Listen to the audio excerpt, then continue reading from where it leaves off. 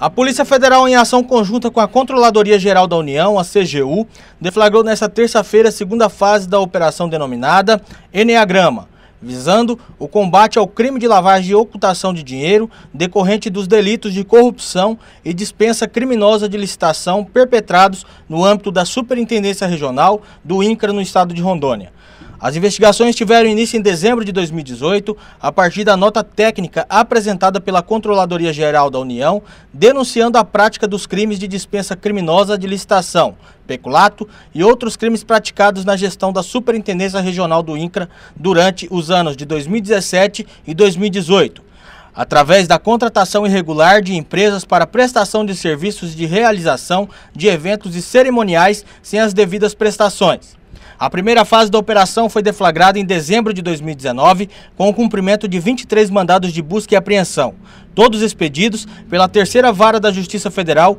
em Porto Velho. Após a continuidade das investigações, a partir da análise de bancários de investigados, se identificou indícios quanto à prática de crimes de lavagem e ocultação de bens adquiridos com dinheiro desviado dos cofres públicos, com a compra e reforma de imóveis de alto luxo e veículos, além de uma movimentação financeira totalmente incompatível com a renda lícita declarada pelos investigados.